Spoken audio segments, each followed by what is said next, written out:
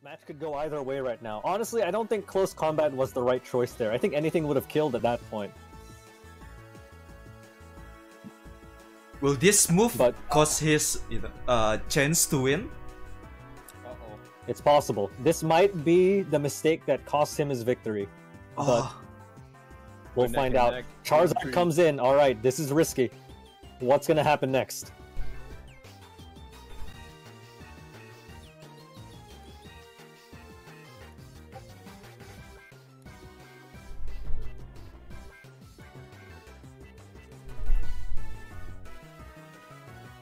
Lizardon comes in with the Dragon Nets predicting the switch out, but there was no switch out. The Surging Strikes comes in.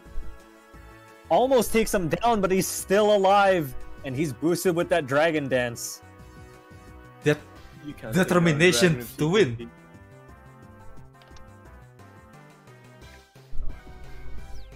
Like how it so can't be cut. By This any does not look good for the Bald Demon right now.